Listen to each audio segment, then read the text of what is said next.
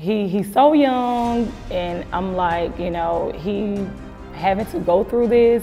We really didn't see anything. Once he was going to get his physical, that's when I just started having headaches and just told, I just told him I said, I can't take it no more. So We go to um, Atlanta Children's Hospital of Atlanta. They immediately put him in ICU because of the medicine that he had to be put on to, you know, get his blood pressure to be stable. you know, that's the only thing we really knew. Like it really came like a thief in the night.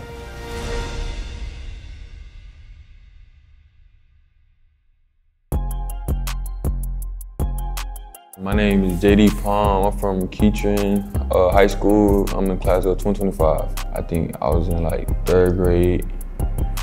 And it was, I was walking down the street and then some dude asked me if I wanted to play with the AAU team. And he was like, and um, he told me, he like, you wanna play? I was like, yeah.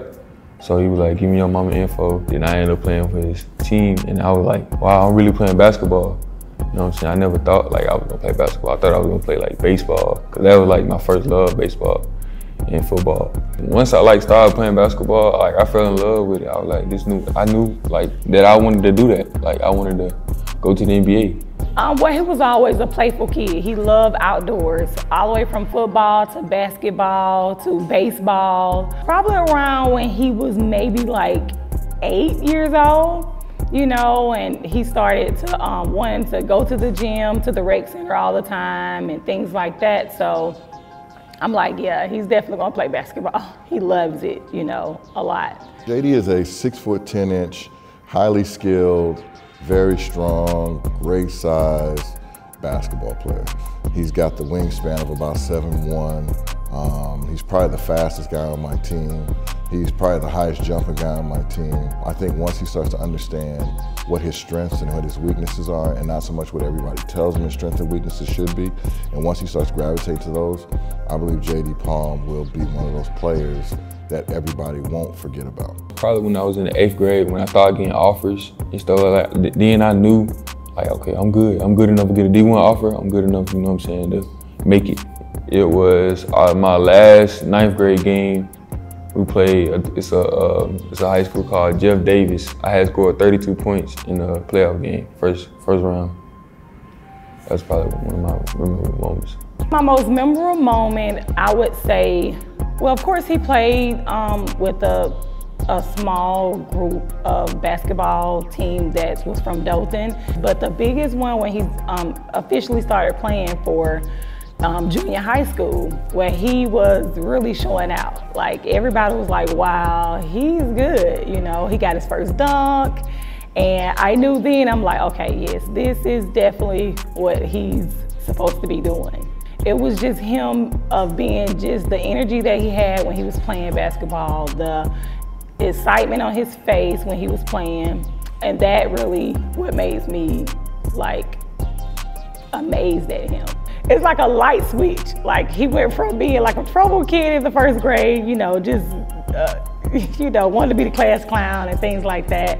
So we're from that to now he's a quiet kid. He'll just smile, wave, hey, or you know, he'll speak every now and then, things like that. But I think he's more opened up a little bit more with, you know, speaking and holding conversation with other kids and even adults. He's very respectful, he's humble, you know, and things like that. I'm actually, I'm very proud of him. Two weeks before we moved here, he was complaining about a headache. You know, me, I'm thinking like he's a kid and he's always on his video games and he's up close to the TV. So I'm just thinking maybe, you know, it's just because he's actually supposed to wear glasses. So I'm thinking like, hey, JD, maybe you need to start wearing your glasses and stay away from the TV, you know. So we never really went in depth until we got here. I just told him, I said, I can't take it no more. So told her to go to the hospital and took her to the hospital, found out blood pressure was high. Then I had to get then I had to get uh, rest of the back. They put IVs, all sorts of things on me. And then they had to rush me to the children's hospital. Once I got there, they gave me like medicine, stuff like that, put me on IVs. Two days later, they opted, you know, have a biopsy on his kidneys. Um, so they did the biopsy, got the results back within 24 hours, and they said that he had severe scarring on his kidneys. We also ordered to have a, um, a DNA, well I, well, I would say, uh, hereditary test done to see because they thought they they said it may be hereditary because my mom had it. So we had that test done and it came back that it was hereditary and that was the reason why he had the um the So it is in fact the same Uh-huh, that my mom had.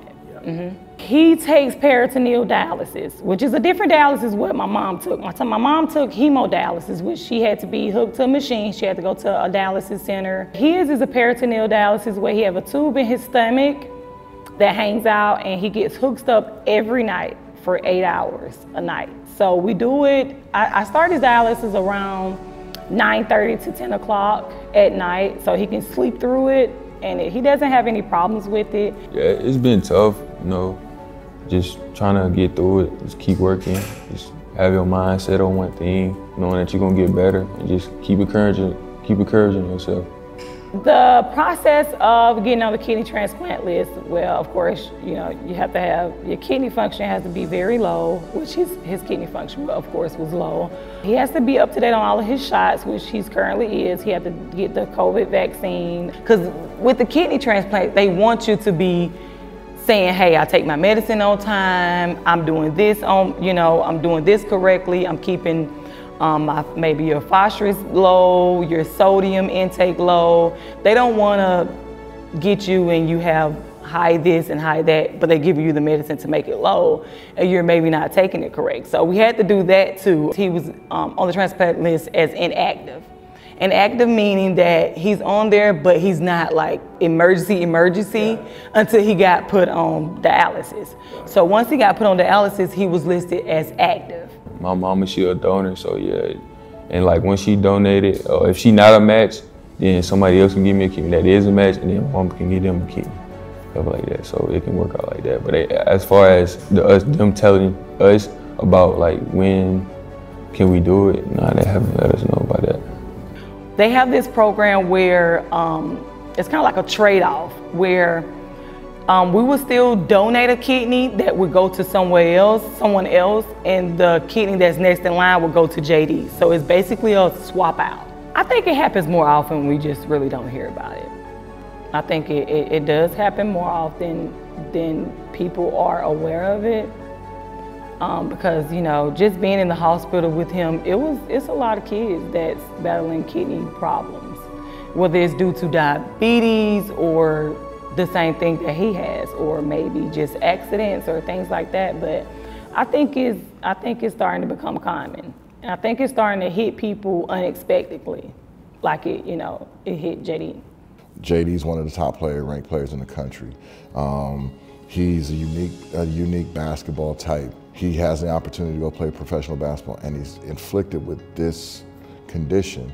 So when you start looking at everything, it started becoming a natural parallel. So we needed somebody to kind of help pick up JD Palm's spirit. So instead of me going to get my brother, who's not a basketball player, to talk to him, we got in touch with the probably one of the best centers to ever play a basketball game to show JD, no, you're gonna play again, but you have to get through this first. Knowing that Alonzo Mourning has walked the path that our kid is presently trying to walk on, it was something that's encouraging. You know, Alonzo spoke with him on the phone and allowed him to give, well, Alonzo gave him, you know, encouraging words and let him know, like, hey, man, it's not over.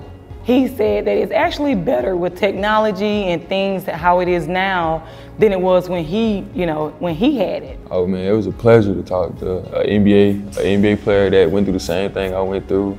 You know, he was just telling me about like how I should eat, you know, I should eat better.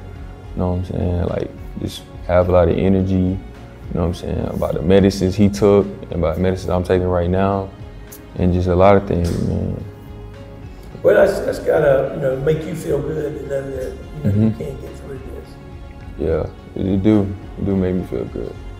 Yes, I encourage him. I tell him every day. I'm like, you're going to write about this. You're going to you're going to talk about this in your future. You're going to give other children hope that may be going through the same thing that you're going through, even later on down the line. You're going to there's going to be a testimony, basically. So one thing we, we learned from Alonzo Mourning, 40 million people are dealing with this condition. How many times kids are doing physicals and, you know, and eh, for sports physicals that they kind of give the little, you know, we kind of brush them through physical and not the, the intense physical to understand when you pick up things like this, blood work, urine, so on and so forth, cardiology, you know.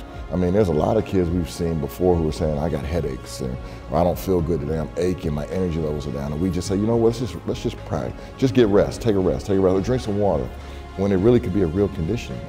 And so that's what we're trying to get. We're trying to spread the word for JD, but we're trying to spread the word for all the people in the country that don't know what they got going on. He's not a quitter. He's coming back stronger than ever. Once he get this transplant, I have faith that he's going to get it. Um, I admire him for being strong enough to handle this, not going into a dark place and being depressed about it and not letting him too, not letting it too much get to him. just like never give up and just just just keep your head straight, you know what I'm saying? Just know that it's gonna get better. And just listen to your peers and your family and, and your doctors. Yeah, I see a lot of good coming from it, you know what I'm saying? Reaching out to people that have this and just, you know I'm saying, encouraging them to stay positive and like don't think negative.